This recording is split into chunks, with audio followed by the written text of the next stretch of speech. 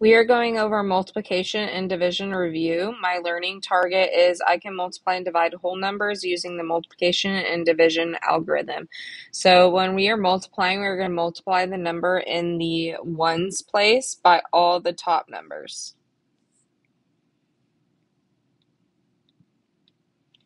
Then we are going to add a zero placeholder and multiply the numbers in the tens place by all the top numbers.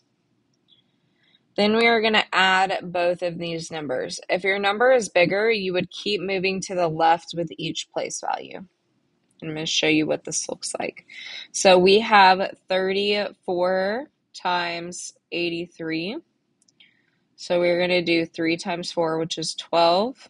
We're going to carry the 1. 3 times 3, which is 9, plus 1 is 10.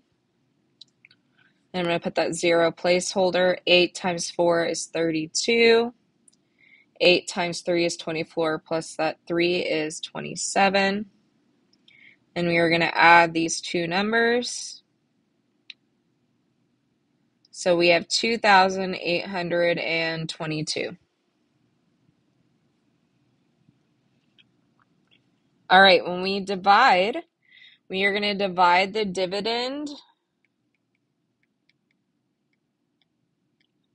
by the divisor. So dividend is the number being the number being divided by another number. The divisor is the number the div um that is doing the dividing. Sorry, I'm having difficulty. Um, the divisor is a number divided into another number. So in this case, 357 is the dividend and 7 is the divisor. We're seeing how many times 7 can go into 357. We're seeing how many groups of 7 we can make out of 357. All right, we are going to multiply the divisor by the number you got dividing, and then you are going to subtract that number from the dividend, and then bring down the next number and repeat. And I'm going to show you what that looks like.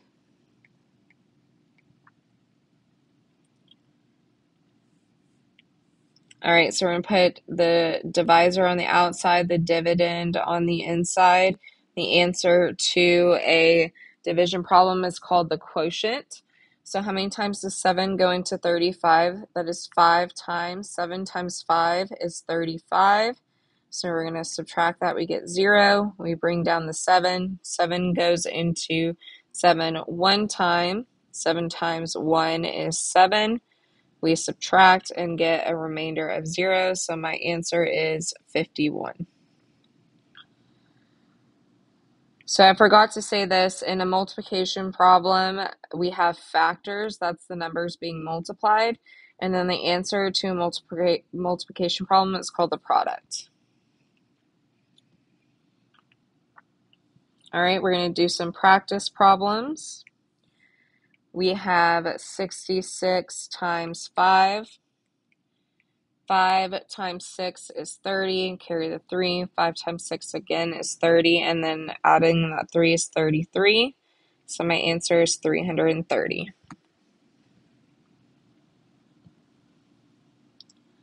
All right, we have 178 divided by 2. We're going to put the divisor on the outside, the dividend in the inside. 2 goes into 1 0 times do, goes into 17 8 times. So 2 times 8 is 16. Subtract, we get, oops, subtract, not multiply. We get a remainder of 1. We bring down that 8. 2 goes into 18 9 times. 2 times 9 is 18. Subtract, get 0. So my answer is 89.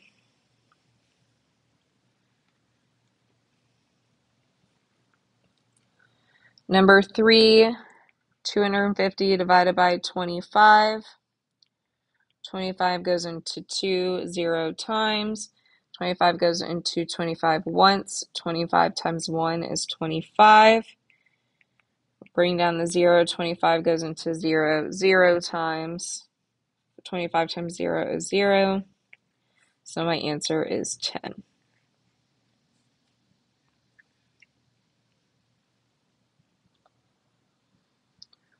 72 times 36. 6 times 2 is 12. 6 times 7 is 42. Add the 1 is 43. Put that 0 placeholder. 3 times 2 is 6. 3 times 7 is 21. Add those together. We get 2,592.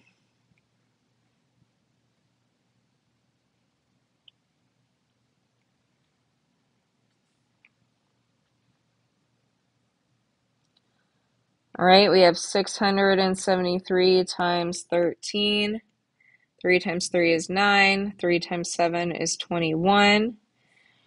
6 times 3 is 18. Add that 2 is 20. 0 placeholder. 1 times 3 is 3. 1 times 7 is 7.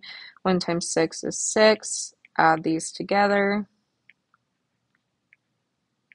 And we get 8,749.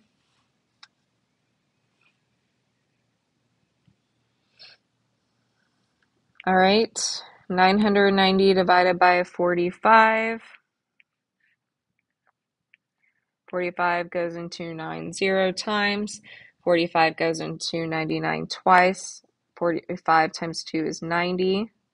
Subtract and get a 9. We bring down the 0. 45 goes into 90 twice. 45 times 2 is 90. So my answer is 22.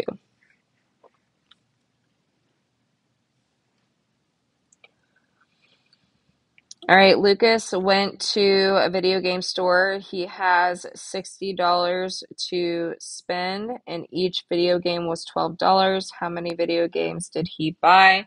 So that means we're trying to find how many times $12 goes into 60. So that is a division problem. So 60 divided by 12. So 12 doesn't go into 6. I'm going to need to try to check over here. Let's do times 5 and see if that works. 5 times 2 is 10. Carry the 1.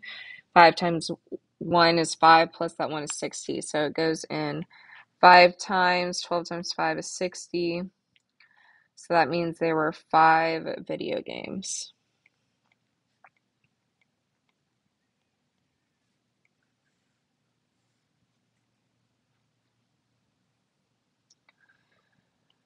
Number seven, Aria and Zach are setting up chairs for their teacher's classroom. The teacher said she needed three rows of six. How many desks were there? So that's three groups of six, so we're multiplying. So three times six is 18, so 18 desks.